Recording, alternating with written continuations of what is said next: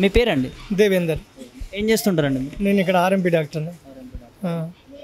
మల్లారెడ్డి పనితీరు ఎలా ఉంది ఇక్కడ? ప్రస్తుతానికైతే మేము అంటే మామూలుగా అభివృద్ధి పనులు అంటే వాళ్ళు రోడ్లు శాంక్షన్ చేయించారు ప్రస్తుతానికి. మంచిగానే ఉన్నాయి రోడ్లు అయితే కొన్ని కానీ అక్కడక్కడ కొంచెం డ్రైనేజ్ ప్రాబ్లం ఉంది. అది సర్పంచ్ గారికి చెప్తే చేసేస్తున్నారు. ఆయన పేరు పెంటయ్య. ఓకే? ఇంకో విషయం ఏముందంటే ఇక చిన్న చిన్న మొన్న స్కూల్లో కూడా ఏదో ఓపెనింగ్ చేసిండ్రు. అవి మన ఇవి మామూలుగా పిల్లల గురించి బాత్రూములు అని అవన్నీ అవి. ఇంతకుముందు కూడా వచ్చేసి ఇక్కడ ఏదో ఏదో విషయంలో వచ్చిపోయిండు. ప్రస్తుతానికైతే ఈ ఈ ఊర్లోనే కనీసం రెండు నెలల్లో కనీసం ఎంత లేకున్నా ఒక రెండు మూడు సార్లు వచ్చిపోయిండు. ఇప్పుడు బాలాజీ నగర్ కానీ జవహర్ నగర్ కానీ దమ్మాయిగూడ కానీ ఇక్కడ ఇది ఏరియాలకు పోవాలంటే ఇదే రూటు. ఇక్కడ నుంచి వచ్చేసి తిమ్మాయిపూర్ నుంచి ఇక్కడ బాలాజీ నగర్ క్రాసింగ్ల నుంచి అక్కడ దమ్మాయిగూడ షార్ట్ కట్ నుంచి వెళ్ళిపోతాడు ఆయన. రోడ్ల అయితే కొంచెం అక్కడక్కడ కొంచెం డ్యామేజ్ ఉన్నాయి. అవి చిన్న చిన్నగా ఈ సర్పంచ్ గారికి చెప్తే చేసేస్తున్నాడు ఆయన. అంతే వేరేది ప్రస్తుతానికైతే ఆయన మీద కంప్లైంట్లు ఇచ్చేంత ప్రాబ్లం అయితే లేదు. అక్కడక్కడ అభివృద్ధి పనులు అయితే బాగానే ఉన్నాయి పింఛన్లు అవి ఇవి శాంక్షన్ చేసిండ్రు. పథకాలు అంటే ఓకే కదా నార్మలే. ఇక వచ్చిన వాళ్ళకు వచ్చినాయి రాని వాళ్ళకు మనం ఏం చేయలేం దానికి. అంతేనా? అంతే మరి. ఇక రాని వాళ్ళకంటే వంద మంది అప్లై చేస్తారు వంద మందికి రావాలని ఏం లేదు కదా రూల్. వచ్చే వరకు అర్హత ఉన్న వాళ్ళకే ఇస్తారు. అంతేనా కదా? ఇంకా ఇంకేమైనా ఉన్నాయా? ఇప్పుడు వచ్చే ఎలక్షన్లో ఏ పార్టీ గెలిస్తే మంచిగా ఉంటుంది అనుకుంటున్నారు? ఇప్పుడు మామూలుగా అయితే జనాల టాకింగ్ ఎట్లుందంటే మళ్ళీ ఇది కేసీఆరే టీఆర్ఎస్ఏ వచ్చే అవకాశం ఉంది అని కొంతమంది. అగనిస్ట్ వాళ్ళు ఉన్న వాళ్ళు ఓ ట్వంటీ ఫైవ్ పర్సెంట్ ఉంటారు ఎట్లయినా ఎట్లయినా. ఎందుకట్లా మొత్తం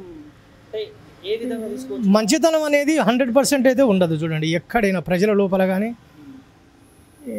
ఇంకోటి ఏంటంటే ఏ విషయంలోనైనా మంచికైతే చెడు కంపల్సరీ ఉంటుంది. ఖచ్చితంగా అది ఒక డెబ్బై ఐదు శాతం ఉంటే ఇరవై ఐదు శాతం ఇదైతే ఖచ్చితంగా ఉంటుంది. ఇంక ఇది మీకు తెలుసు అందరికీ తెలుసు. ప్రస్తుతానికైతే టీఆర్ఎస్ ప్రభుత్వం ఓకే. ఓకే నెక్స్ట్ కూడా వచ్చే అవకాశం ఉందని హండ్రెడ్ పర్సెంట్ అంటే కొంతమంది అంటున్నారు కొంతమంది. మామూలుగా ఇదైతే మామూలే నార్మలే ఇంకా. మీరేమనుకుంటున్నారండి? ఎందుకంటే కొన్ని అభివృద్ధి పనులు కొన్ని ఇంకా కొన్ని కొన్ని ఏదో అవుటర్ రింగ్ రోడ్స్ అని ఏదో మళ్ళీ ఇంకోటి ఏదో సరౌండింగ్ అంటున్నారు కదా.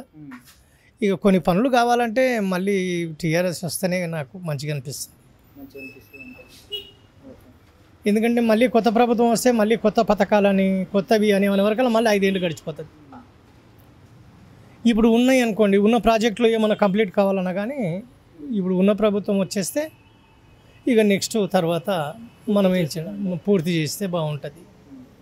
ఇప్పుడు వీళ్ళు తలపెట్టిన కొన్ని ప్రాజెక్టులు ఉన్నాయి కదండి అవన్నీ క్లియర్ కావాలంటే ఇప్పుడు ఉన్నది ఉంటేనే ఖచ్చితంగా అవుతుంది కానీ ఇప్పటికీ కూడా ఏంటంటే వాళ్ళ కుటుంబ పాలన కుటుంబ పాలన అని కొంచెం అగెనిస్ట్గా ఉంది. కానీ అది కూడా నెగ్గుకొస్తాడో ఏమో అని నాకు నా అభిప్రాయం.